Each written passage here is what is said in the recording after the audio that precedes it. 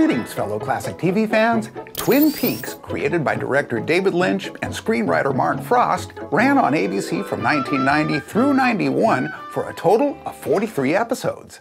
The show blended a murder mystery, the paranormal, comedy, and horror, all accompanied by a great musical score. With ties to popular classic TV shows, Michael Ontkean from the crime drama The Rookies was cast as Sheriff Harry S. Truman.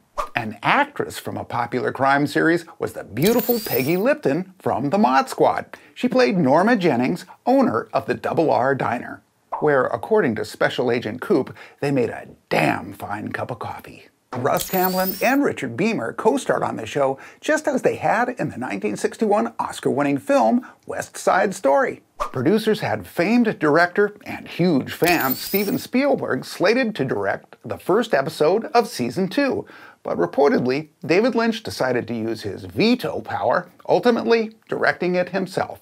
The show introduced television audiences to Kyle MacLachlan, who had forged a working relationship with David Lynch by previously starring in both of his classic feature films, Dune and Blue Velvet. But it was his Twin Peaks portrayal of Special Agent Dale Cooper which won Kyle the 1992 Golden Globe for Best Actor in a TV Series.